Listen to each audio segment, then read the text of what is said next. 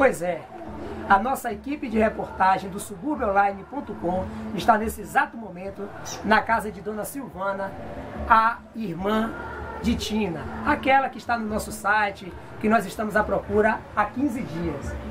A Dona Silvana ela está desesperada, seus familiares estão desesperados à procura de Tina.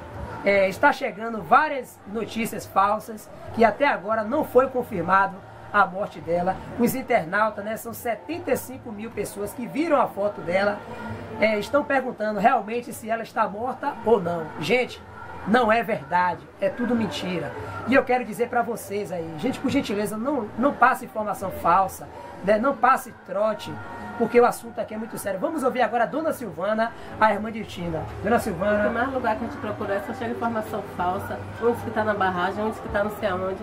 E a gente já procurou todo lugar, não, até agora não chegou informação nenhuma, só chega informação falsa pra gente.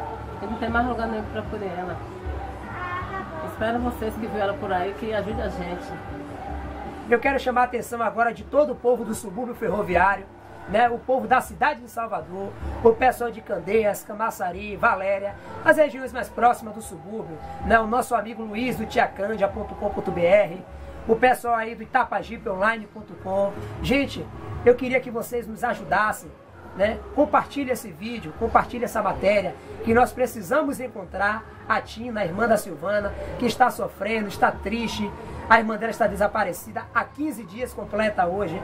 Já foi dado queixa na polícia, na Polinter. O pessoal está investigando, está procurando, só que até agora não tem informação. Se você tem informação de Tina, por favor, entre em contato agora com o nosso site suburbeonline.com. Tem o nosso WhatsApp, que é o 9181 5014. Você pode estar passando sua informação para o 9181 5014. Não esqueça de colocar o 71, você que está fora de Salvador.